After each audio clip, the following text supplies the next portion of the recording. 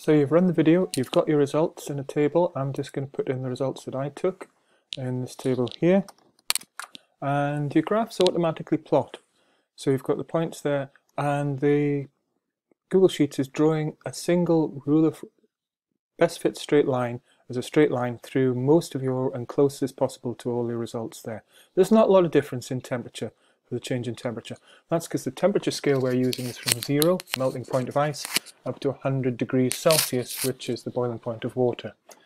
If instead we plot that on a scale where we go beyond the melting point of ice and go into negative Celsius temperatures, we go all the way back down to minus 250, minus 270 here. And it's at that point that the pressure appears to be absolutely zero. At this point, all the molecules stop moving and you can't get any colder than this minus 270. The actual value is minus 273, but for this, we'll just use minus 270 for the results that we've got here. So that's as cold as cold can be, and you're now going to take some notes on a different temperature scale where this is where the temperature scale starts at zero and then goes up in one degree increments from there and this is the Kelvin scale. And absolute zero is zero here and that's as cold can possibly be. You can't have a negative Kelvin temperature because that's absolute zero right there